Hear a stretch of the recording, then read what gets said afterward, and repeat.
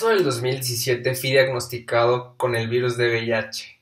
Fue una sorpresa para mí, no me lo esperaba. En ese momento estaba de vacaciones en Los Ángeles y por circunstancias de la vida, llámenme loco o mi mamá se llegó a pensar, pensar que estaba drogado por todo lo que le dije.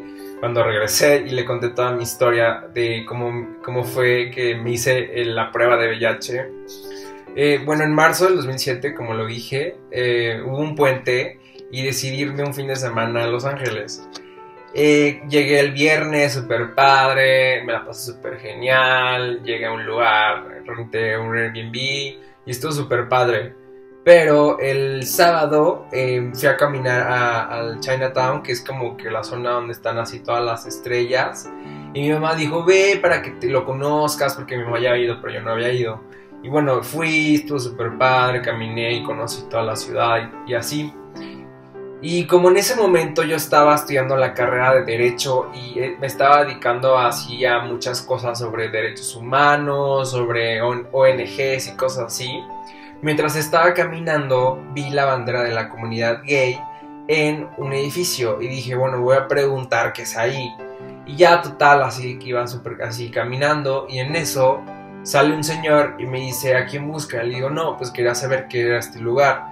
Ese señor me comentaba que ese era una casa hogar, ese, ese edificio, y que era, bueno, que era un edificio de, para las personas mayores de la comunidad LGBT que vivían en Estados Unidos. Una casa para que vivían los, abuelitos, en pocas palabras. Y pues resulta que este señor era un, colombiano, era un, un cubano bueno, era de Cuba este señor, y me dijo, ¿estás de vacaciones? Le dije, sí, estoy de vacaciones, estoy conociendo la zona. Me dijo, ay, si quieres ya te enseño un edificio que es de la comunidad LGBT en, Los Ángeles y, hay de todo tipo de cosas. Si quieres, acompáñame a dejar una carta a un lugar y de ahí te llevo al edificio. Entonces, en ese camino pues mientras que lo acompañaba a dejar esa carta y me iba contando que él era de, Cuba, que tenía muchos años viviendo en Estados Unidos, que él, leía las cartas y muchas cosas súper interesantes, la verdad. Eh, y, eh, bueno, eh, llegué al edificio con este señor ya después de haber dejado la carta que tenía que dejar y me dijo, ¿alguna vez has hecho la prueba de VIH? Y yo la verdad, pues no, nunca. Me dijo, no, me, me dijo, ¿te gustaría hacértela? Aquí es gratuita y pues la verdad te la hacen de volada. Yo bueno dije, va, pues no hay ningún problema, la verdad no tenía, no tenía prisa y dije, va, me la voy a hacer. El señor súper lindo me llenó, la, me llenó la hoja que te dicen de que acepto que esta clínica me haga la prueba de VIH y cosas así. Entonces me llenó la... Todo estaba en inglés, él me lo llenó. Porque la verdad yo soy pésimo con mi inglés. Me llenó toda la hoja, todavía me leyó la mano, así que me dijo lo que me iba a pasar en mi futuro y todo súper loco. Me dijo, aquí te tengo que dejar, pero yo tengo que hacer otras cosas, pero este, estamos en contacto. Yo, pues claro, así le, dejé mi teléfono y él me dejó su teléfono, pero no lo perdí. Entonces, pues ya estuve así en la sala de espera de que pues, mientras decían mi nombre y luego así como a los 20 minutos me dicen, señor Luis Ángel, este, pase por favor. Y ya me sacan una, me sacan una muestra de sangre así de este tamaño. Yo creo que era de la muestra de sangre. No me dolió, pero sí fue muchísima. Y ya regreso otra vez a la sala de espera. Y estuve así de que 15 minutos y otras vuelven a decir, señor Pichardo, ¿puede acompañarnos a, por favor? Y yo así como que, pues, ¿qué está pasando? Claro que en ese momento, mientras esperaba mi diagnóstico, estaba súper nervioso yo de que, güey, ¿qué está pasando?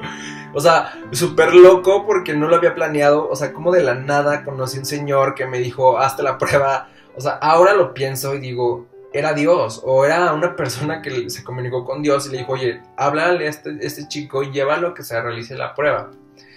Entonces ya paso, me llevan un cuartito y me dicen, tus análisis salieron positivos en VIH. Imagínense la sorpresa que me dio en ese momento. Estaba solo en una ciudad que no conocía, súper lejos de mi familia, con un diagnóstico que la verdad pues, no me lo esperaba y, no sabía nada del tema. Me quedé en shock. Sentí como si me hubiera caído una, un balde de agua fría arriba de mi cabeza.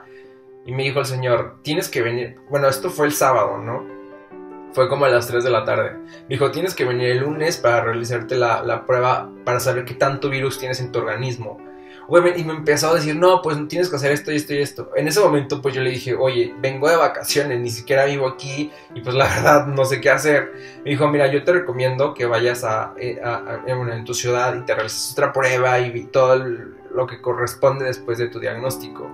Evidentemente salí del lugar deshecho, no lloré ni nada, simplemente me quedé así como, wow, fue una sorpresa realmente súper inesperada en ese momento. Y bueno, ya, eh, pues obviamente estuve súper triste de que no mames, me voy a morir, mi vida se va a acabar. Regresé a México, eh, no le dije a mi mamá ni a mi familia durante un mes. Ese mes estuve en depresión, sentía que me iba a morir. O sea, mil cosas me pasaron en la cabeza. No sabía nada del tema. Hasta que un día le confesé todo a mi hermana. Mi hermana súper linda me dijo, no te preocupes, te voy a ayudar a investigar dónde puedes iniciar tu tratamiento. Así fue como di con la clínica Condesa. Que la clínica Condesa es, bueno, ayuda a muchas personas a, o sea, que tienen el virus de leche y, y otras, otras infecciones de transmisión sexual. Y pues ya después de eso que le dije a mi hermana, le dije a mi mamá, me apoyaron, obviamente lloraron, las, o sea, me sentí súper mal porque dije, no manches, les estoy ocasionando un, o sea, les estoy ocasionando que, se, que sufran en este momento. Obviamente me dolió muchísimo, pero me sentí liberado, me sentí apoyado de que me estuvieran diciendo, ya sabes que no te preocupes, no va a pasar nada, vamos a salir juntos de esto. Y efectivamente, bueno, o sea, al año después de, todo esto que les estoy contando que me pasó, me siento una persona súper libre, me siento súper motivado, de que nada me detiene, me siento de que puedo hacer las cosas que yo quiera. Evidentemente, no todas las personas tienen la misma suerte que yo tuve en el aspecto del apoyo de su familia, de tener, de tener el, el diagnóstico a tiempo, porque obviamente cuando a mí me hicieron el diagnóstico no, no presentaron ningún síntoma tenía nada, o sea, realmente estaba, no tenía mucho con el virus. Y obviamente fue así como, o, el virus no había reaccionado a mi cuerpo. Entonces, pues ahora que me pongo a, así analizar de que digo, wow, Dios me mandó una señal, Dios me mandó a ese señor para que yo lo conociera y él me acompañara, que hiciera, me hiciera ese diagnóstico. Y, y evidentemente, pues, gracias a él, me hice esa prueba. Pero muchas cosas me pasaron después de mi diagnóstico. Obviamente estuve, ya bueno, ya mi familia lo sabía, pero mi entorno de mi, la universidad, mis amigos no lo sabían y la verdad me daba muchísima vergüenza compartirlo. Literal me daba pena. Decía, me iban a dejar de hablar, ya no voy a tener pareja. O sea, sentía que mi, mi vida ya se iba a acabar. Y bueno, un día eh, para que te den el, medicamento en la clínica Condesa, eh, te tiene que dar una receta a un doctor.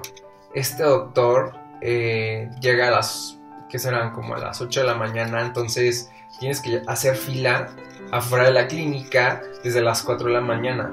Una de esas frías mañanas llegué en mi coche súper feliz de que, uh, o sea, saben, como que en mi onda. Y de repente llega una señora con una carriola y un bebé recién nacido. Y yo así como, güey, a las 4 de la mañana, que como, así como, y sola aparte. Esta señora tenía como 31, 32 años y yo para hacerle plática y le dije, oye, ¿cómo te llamas? Este, ah, o cuéntame de tu vida, ¿no? Esta señora me contaba que venía con, su, con, es, con ese bebé porque era su nieto, porque su hija no se hacía responsable de él y por eso lo traía esa mañana. Entonces yo me quedé como, wow, la señora tenía como 32 años, su hija cuántos tendrá. Y me contaba que la persona quien le había transmitido el virus de VIH, transmitido, no contagiado, eh, transmitido fue su pareja que estaba en ese momento en un centro penitenciario, o sea, una cárcel, y que aparte vivía con herpes. Imagínense el shock que me dio de convivir con una señora al lado que estaba al lado de mí literal y me dijo que tenía herpes y que su vida literal ya no le encontraba sentido, que se quería morir y así. Obviamente me, me entró como un, un, despertar en mí que me dijo, güey, no mames, tú tienes el apoyo de tu familia, tú tienes el apoyo de, de, bueno, en general el apoyo de todo, o sea, de todo el mundo, así como que no tienes ningún problema económico, no tienes ningún problema de salud, me, entienden? Y esta señora que acabo de conocer, literal, no tenía el apoyo de su familia, no tenía a su esposo, su hija estaba en otra onda, no tenía dinero, o sea, e, era un caos. Por eso la, entendí en ese momento que me decía, me quiero morir. Pero lo feo no fue eso, sino que por mis prejuicios yo no quise abrazar a esta señora. Entonces, cuando la cuando se fue después de que la conocí todo, reaccioné y dije, Pichardo, no puede ser que no le hayas dado un abrazo. Esa señora lo único que necesitaba era un abrazo de consuelo y no lo di. Me arrepentí mucho y hoy en día esa señora nunca se me va a olvidar. Se veía muy frágil. Me inspiró demasiado esa señora. A partir de ahí dije, algo tengo que hacer de mi vida acerca sobre este tema del VIH y, y, quitar esos estigmas, porque hay muchas personas que tienen vergüenza de compartirlo con el mundo, hay muchas personas que se suicidan, hay muchas personas que discriminan por no saber sobre este tema y la verdad, por eso subo estos videos. A partir de que conocí a esta señora y comprendí que mi misión de vida es compartirlo con ustedes que estén viendo este video y con el mundo, para que no haya más prejuicios acerca de este virus, que realmente el virus de VIH actualmente se puede tratar. Ya no es como antes. antes. Antes la gente se moría por este virus y ahora la gente puede vivir muchísimos años y puede tener una vida digna. Entonces por eso subo este video y yo sé que, que huevas y los aburrí, no, no quiero aburrirlos. Pero quise contarles cómo fue mi experiencia cuando me hice mi diagnóstico, qué fue lo que me llevó a, a, realizar estos videos y por eso lo estoy haciendo. Entonces, si tú tienes el virus de VIH, no te preocupes no te sientas mal, hay gente que te va a entender. Yo sé que lo repito muchas veces, pero me di cuenta que hay muchas personas que tienen el virus de VIH. No va a ser ni el primero ni el último. Esperemos que ya no haya más personas que, que, que sean transmitidas, o sea, que, que, tengan el virus, porque evidentemente esto es algo que se debe de tener, pero por falta de, de información la gente no se cuida, no tiene, tiene relaciones sexuales sin preservativo y creen que no les va a pasar y, sin embargo como yo llegué en, su momento a pensar que a mí no me iba a pasar, me pasó, entonces no, a mí no me gustaría que te pasara en caso de que estés viendo este video y no tengas el virus de VIH. Y si ya lo tienes, no te preocupes, va a haber gente que te va a entender. La vida no se acaba, hay, mucha, hay muchas cosas que hacer en este mundo, así que dedícate a ser feliz, rodéate de personas que te quieran, rodéate de cosas que te gusten y, y haz, haz, de tu vida lo, lo que te dé la gana que un virus no te detenga. El virus de VIH no te mata. Lo que mata son los estigmas y la discriminación. Así que si tienes a un amigo que acaba de ser diagnosticado con el virus de VIH, un hijo, un primo, un hermano, apóyalos. No debes de hacer sentir mal a una persona que tiene el virus de VIH. Porque somos, todos somos seres humanos y merecemos el mismo respeto porque simplemente somos humanos. Porque somos seres humanos y merecemos un respeto. Entonces, ámense, ámense y no se acaba la vida con el virus de VIH. Así que muchas gracias por ver este video, espero que te guste mi contenido. Yo sé que no lo hago así con la mejor HD o cosas así, pero estoy empezando. Y no lo hago por fama, lo hago por querer compartir mi experiencia, luego para que otras personas se sientan identificadas y no, y no se depriman evidentemente yo pasé por un tramón de que, ¡ay, mi vida se va a acabar! Y no sé qué. Pero hoy, después de un año, me siento súper contento. Es como, no pasa nada. Así que les mando la mejor vibra.